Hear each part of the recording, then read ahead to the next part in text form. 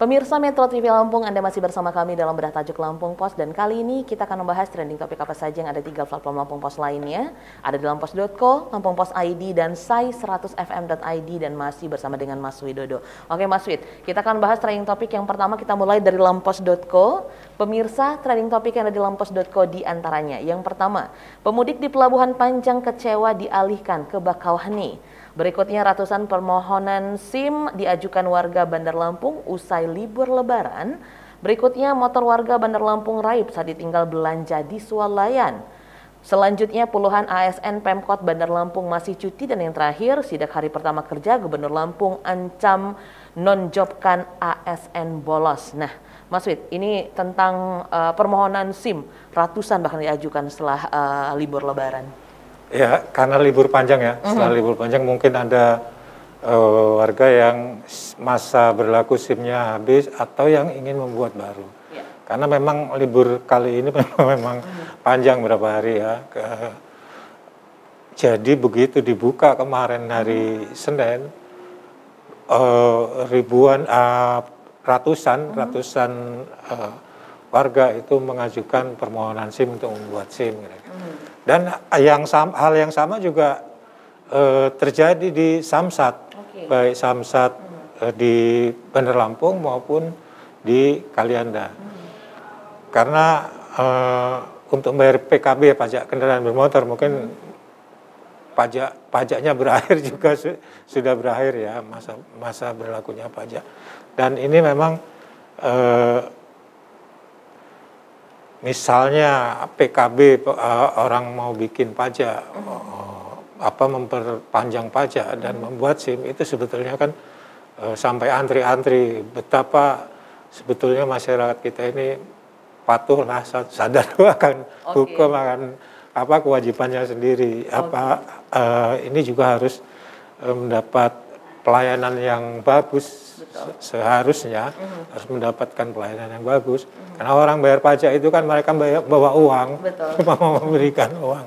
Dan e, memang di hari pertama kemarin gubernur juga gubernur Lampung mm-hmm. Arinal Junaidi juga melakukan sidak di sejumlah kantor dan okay. dia e, mengancam akan memberi sanksi kepada e, pegawai yang mm-hmm. e, mangkir ya. itu akan dinonjobkan kira-kira ya. begitu. Oke, ini uh, mungkin yang mangkir sekarang sudah mulai berpikir Mas Wid.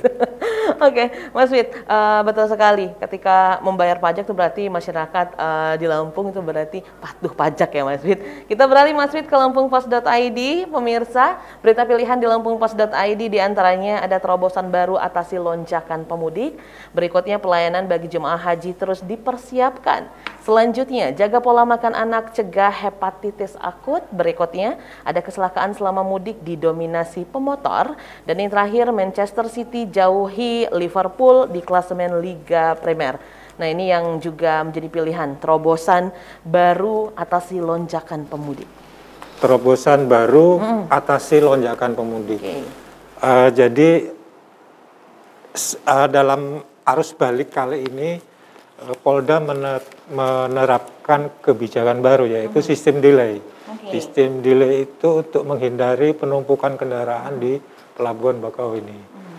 Jadi caranya apa? Caranya dengan mengaktifkan seluruh rest area. Hmm. Jadi kendaraan yang akan menuju ke Bakauheni dicegat dulu di situ di setiap rest area dicegat sekalian diperiksa apa tiket apa verisi udah punya belum ya ditanyakan begitu sambil mereka oh, beristirahat memang ini lebih baik karena lebih baik istirahat di rest area atau daripada di uh, panas-panas di pelabuhan ada knalpotnya asapnya ada panas hmm. kalau di rest area kan dia bisa berisi, uh, berisi beristirahat lah kira-kira. Okay. Cuma kita berharap uh, rest area kita ini uh, segera rame, segera sejuk karena hmm. kan masih baru pohonnya juga pohon-pohonan iya. uh, peneduh juga belum belum besar ya kita uh, nanti ketika pohonnya sudah mulai rindang apa itu mungkin lebih nyaman lagi okay. untuk beristirahat di rest area. Oke, terobosan ini mungkin bisa dibawa ke tahun depan untuk uh, mudik tahun depan dan juga uh, ditambah dengan terobosan-terobosan baru tentunya Mas Wid. Ya dan seharusnya hal yang sama juga diberlakukan di Pelabuhan Merak. Uh -huh. Karena uh, sempat stuck lama banget ya di Merak kemarin itu uh, sampai kantong parkir itu enggak kantong parkir pelabuhan sudah hmm. tidak mampu menampung sampai meluber ke jalan toh hmm. waktu itu dan hal sama juga sebetulnya ini terobosan baru ini bisa diberlakukan di kedua arah baik dari Bakau uh-huh. maupun dari uh, Merak. Oke, okay. jadi tidak uh, mengular ya yang PKJ dan mengakibatkan kemacetan yang begitu lama dan panjang. Oke okay, Mas Fit, kita beralih ke sai100fm.id. Pemirsa, trending topik yang ada di sai100fm.id di antaranya yang pertama Yellow Claw, Weird Genius dan juga Novia Bahdim berkolaborasi rilis single Lonely. Berikutnya ada Hammer Sonic 2023 hadirkan 53 band metal Selanjutnya Cinta Terlarang Adipati Dolken dan Della Dartian di film Kamboja. Berikutnya ada Anderson Park bakal jadi sutradara di film drama komedi berjudul K-Pops. Dan yang terakhir ada God Seven Comeback dengan EP terbaru yang akan rilis di 23 Mei. Ini tentang film yang sekarang memang film uh, karena bioskop sudah dibuka bermunculan nih Mas Wid. Salah satunya Cinta Terlarang Adipati Dolken dan Della Dartian di film Kamboja.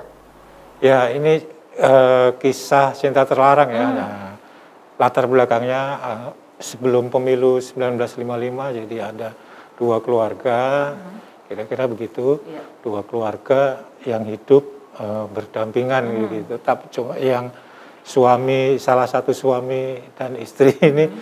sibuk ke sibuk urusan partai iya. kira-kira begitu ya hmm. karena untuk kampanye segala macam Sementara suami dan istri yang satunya lagi hmm. Uh, dia lebih sering di rumah dan hmm. akhirnya mereka ini nggak pernah bertegur sapa okay. selama ber, ber oh, dalam waktu lama. Hmm. Kemudian tiba-tiba bertemu yeah. mereka dan uh, perjumpaan itu hmm. mereka uh, uh, pertama kali ber, saling berbicara itu di bawah pohon Kamboja. Kamboja. Oke, jadi merasa nyaman, makanya dicinta terlarang. Ini akan tayang di 13 Mei Uh, berarti sebentar lagi Mas Wid. Oke Mas Wid, terima kasih sudah hadir di studio Metro TV Lampung kali ini.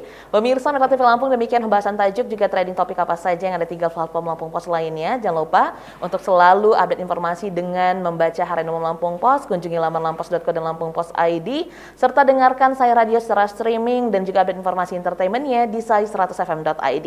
Sedana Hasan beserta aku yang bertugas mengucapkan terima kasih. Jangan lupa untuk selalu terapkan protokol kesehatan dengan memakai masker, menjaga jarak, dan mencuci tangan di air yang mengalir. Sampai jumpa.